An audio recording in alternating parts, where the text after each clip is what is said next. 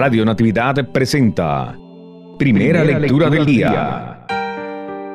Del libro del Éxodo, capítulo 3, versos 1 al 6 y 9 al 12.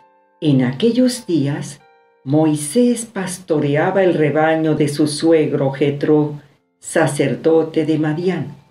En cierta ocasión, llevó el rebaño más allá del desierto hasta el Horeb, el monte de Dios. Y el Señor se le apareció en una llama que salía de un zarzal.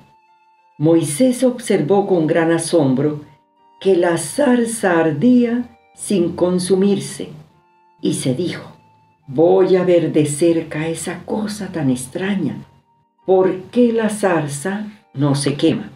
Viendo el Señor que Moisés se había desviado para mirar, lo llamó desde la zarza. Moisés, Moisés. Él respondió, Aquí estoy, le dijo Dios. No te acerques, quítate las sandalias, porque el lugar que pisas es tierra sagrada. Y añadió, Yo soy el Dios de tus padres el Dios de Abraham, el Dios de Isaac y el Dios de Jacob. Entonces Moisés se tapó la cara porque tuvo miedo de mirar a Dios. Pero el Señor le dijo, el clamor de los hijos de Israel ha llegado hasta mí y he visto cómo los oprimen los egipcios.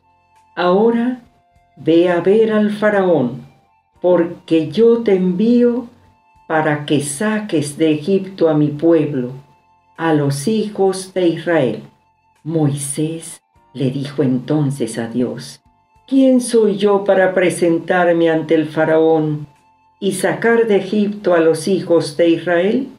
El Señor respondió, yo estaré contigo, y esta será la señal de que yo te envío. Cuando haya sacado de Egipto a mi pueblo, ustedes darán culto a Dios en este monte. Palabra de Dios. Te alabamos, Señor.